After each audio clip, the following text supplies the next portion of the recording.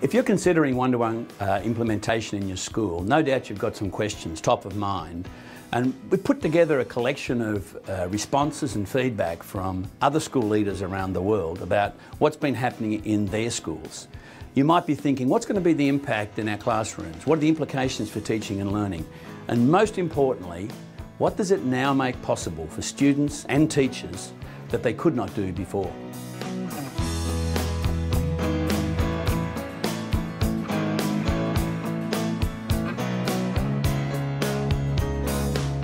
We're stronger as a group than we are individually. And the laptop is what makes that possible.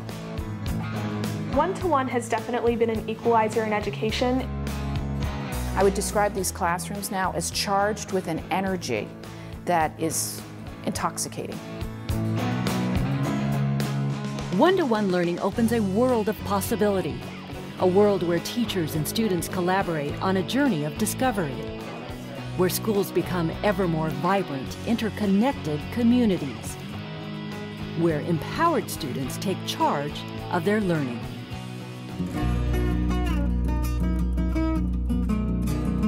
Anyway, you have a ton of information. Each girl at McGehee Private Girls School in New Orleans has her own laptop. It's an integral part of every class. No more history textbooks. Today, they're collectively accessing databanks on political contributions. This is where the New York Times and the Washington Post are getting their information from. Having like real world examples, like straight from the internet, like real time, and that really enhances the learning experience.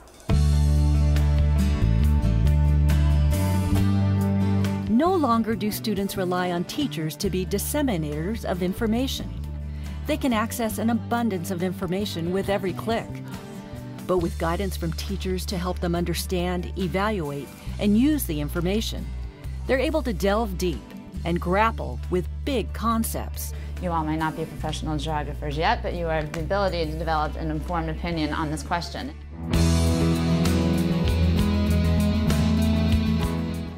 And it's not just students at small private schools who are experiencing the difference. Students at Kent School District, one of the largest in Washington state, are selected for Tech Academy by lottery. They put a challenge on you and they give you a lot of homework. So my experience with the Tech Academy, I think it's just fun and awesome.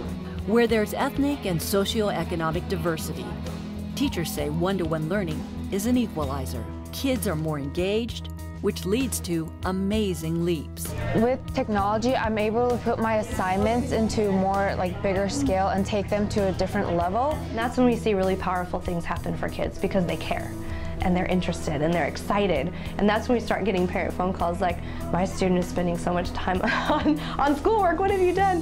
What's more, results show up in more traditional measures too such as standardized test scores. The hard evidence really was very clear, is that, that students that had 24-7 access, because they were so engaged in their learning, outperformed their peers in every single content area. Um, and not just slightly outperformed, um, significantly outperformed.